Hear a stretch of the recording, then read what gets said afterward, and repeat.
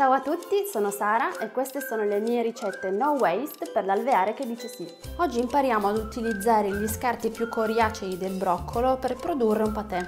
Gli ingredienti necessari sono 125 g di scarto del broccolo, circa mezzo bicchiere di olio d'oliva, del parmigiano, uno spicchio d'aglio, un po' d'acqua, del peperoncino e del sale. Procediamo col pulire il broccolo.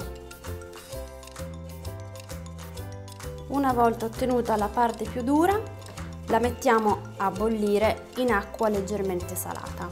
Questo è il risultato dopo la bollitura, per cui prendiamo il nostro bicchiere del mixer, mettiamo all'interno i gambi cotti e pian piano aggiungiamo tutti gli altri ingredienti.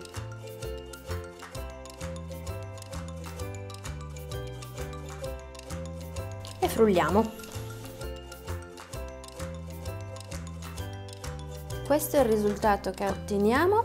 Questa salsa può essere utilizzata semplicemente su un crostino di pane oppure per condire una pasta.